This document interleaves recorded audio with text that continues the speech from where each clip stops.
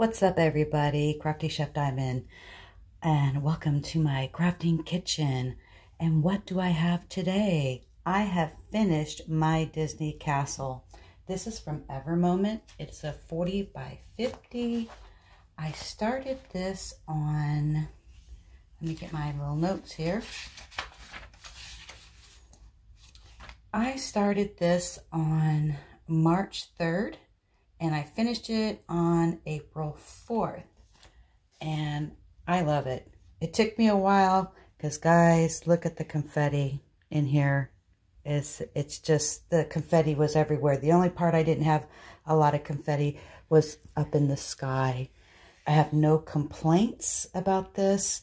This canvas is three years old and um, double-sided adhesive. I had no bubbles, no rivers, very little trash. Um, I had a lot of drills left over.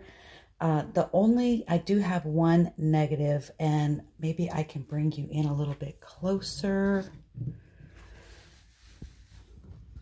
And I think it's just because of the white. Let me zoom my camera in. You see a little bit of the, you can see the line going down here. Can you see the line right there? I have worked with a straightener and tried to straighten it. When you're working with double-sided adhesive, once you put that diamond down, it doesn't want to move. But I think it's because it was the um, the white 3665, a 3865. Yeah. So um, I am really pleased with it. And this is, uh, let me bring it up so you can see a little bit more. I thought there was a lot of, I like the reflection of the castle. I just thought for the size of the canvas, I did get some pretty good detail on it. But I love it. It is definitely going into a frame. I hear now that Evermoment from AliExpress has um, poured glue. I am excited to try one of their poured glue canvas. Maybe another castle, but a little bit larger. But guys, I just wanted to get on here and share this with you. And uh, I'm really pleased with it. Uh, so go check out AliExpress. If I can, I'll try and put their link down below for you guys, okay?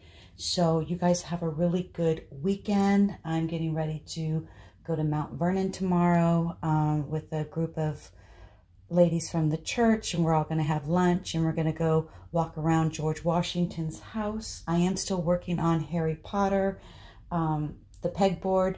So um, I'm halfway done. So part three will be coming pretty soon. I wanted to work on it this evening, but it's a little dark in my craft room. And if you put an overhead light on top of Mr. Potter, um, the light reflects off the plastic pegboard and so you just you can't really look at the colors. But anyways um, i just wanted to share this post review with you guys and have a great weekend and i will see you in my next video.